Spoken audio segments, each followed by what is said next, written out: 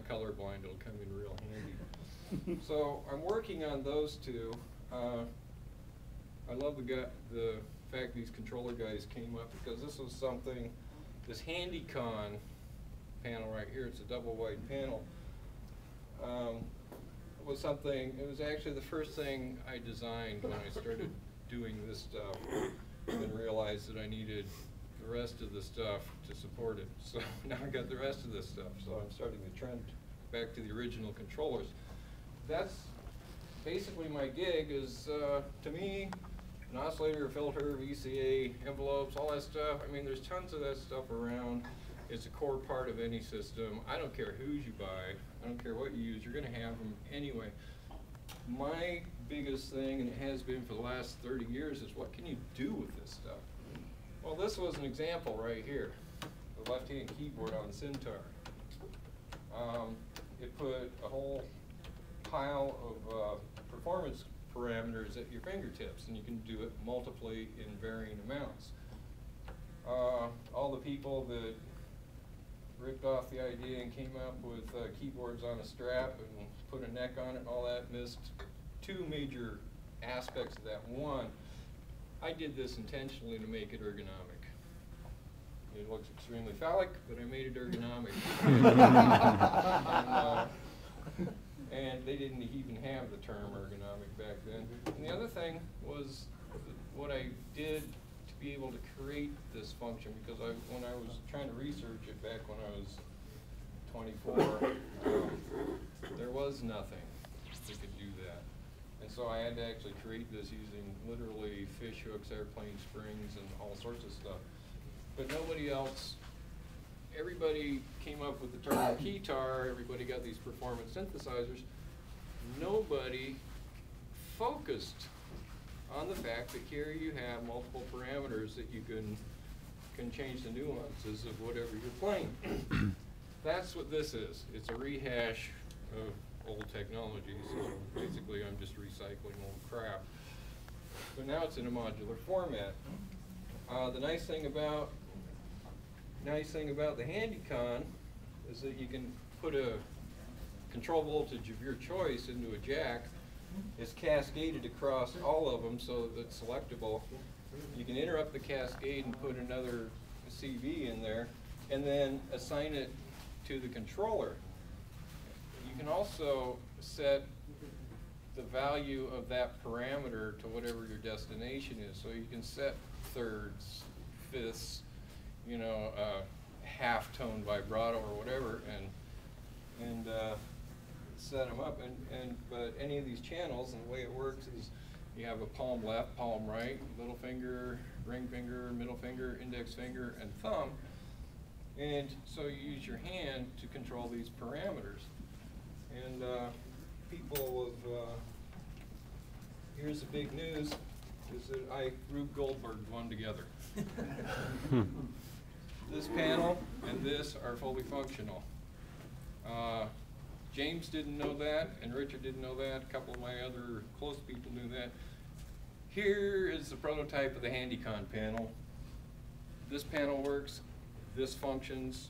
I'm not going to go into detail about it, but uh, the only thing I can think of is as you push these plungers with your hand on there, you can introduce whatever CV you want, send it to wherever you want to go. And uh, the one on the thumb, after I built this, I decided I really need to put it on the bottom because that's really not convenient. So this is a prototype, but it's fully functional. So I invite people to come up and uh, we'll patch this stuff up and play with it. And uh, but that and the sequencer and the quantizer are the next things that are coming out. Any questions? What there's gotta time be is it? One or two. What time is it? No, I'm just. Huh? Fifteen minutes? See, that's what Yeah. I thought I did last year. Yes. On, uh, how easy is it on that thing? I guess I could try it soon, but, uh, I mean, is it like, uh, you know, those guitarist, uh, those guitar things for, no. Yeah, it's- well, I don't know. A little stiffer than Carpal trumpet tunnel? keys. No. Yeah, that's, that's gonna be fun. That's cool. Are you gonna put a strap around your? Around this? I mean, so you can hold on to it without holding on to it. Ah, yeah, that's a good idea. So you thought about, Huh? you Yeah, thought about incorporating incorporating that in a glove-like? That's, that's getting there. I haven't decided how, exactly how I want to implement it. I'm more, more worried about functionality and seeing how it's gonna do that, so that's why I did it. But the other nice thing about that is, uh, when I did Billy's system, I came up with this, uh, voltage controlled mixer, which is really nice. It's the same thing, it's just a mixer, but the only difference, instead of having an on-off switch for each channel, is you can voltage control it.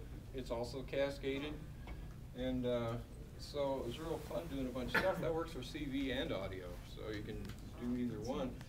But, uh, I, I found out by working, I grabbed some of these, uh, these M Audio expression pedals and found out that I can actually, uh,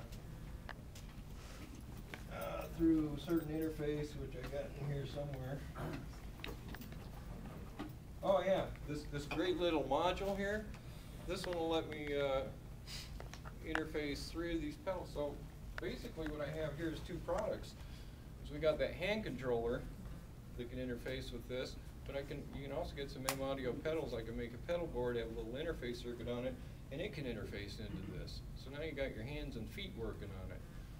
So, uh, my, uh, my, I'm a control freak basically, and I'm, and, and so I'm trying to figure out ways to, to make it work for everybody so that they can, uh, you know, do their normal synthesis stuff, but. You could turn that into a trumpet controller, You could, very Wow. easily. like the valve on a trumpet. Yep, you could. I, there's a lot of ways you can go with it. I mean, it's, it's just, uh, it's just really slick, but basically it's just a rehash of the left-hand controller on the, on the Syntar.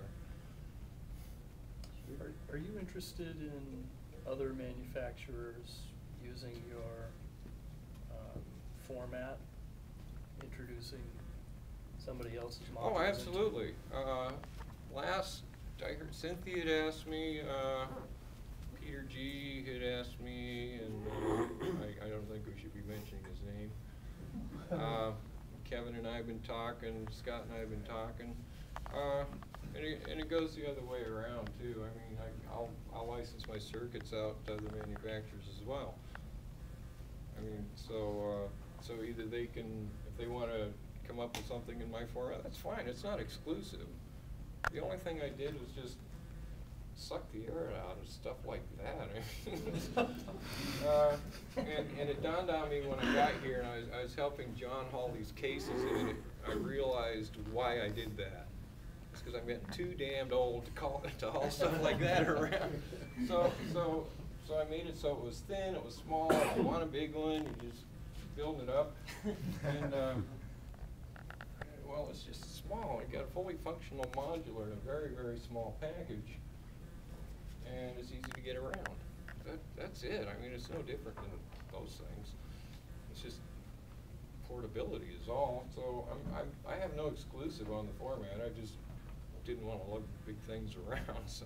And I knew I'd have to demo this stuff, so I certainly didn't wanna haul them around in large format.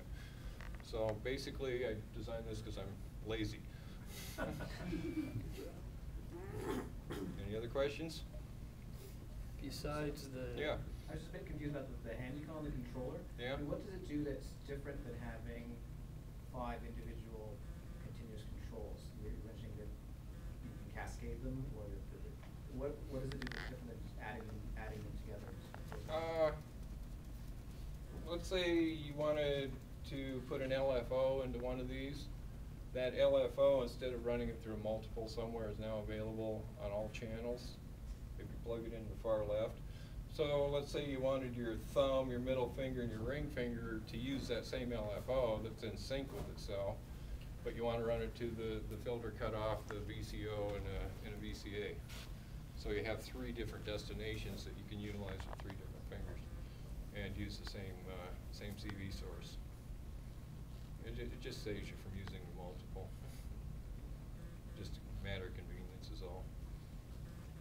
And patch cords, saves you on patch cords, but we do have patch cords up here. Any other questions?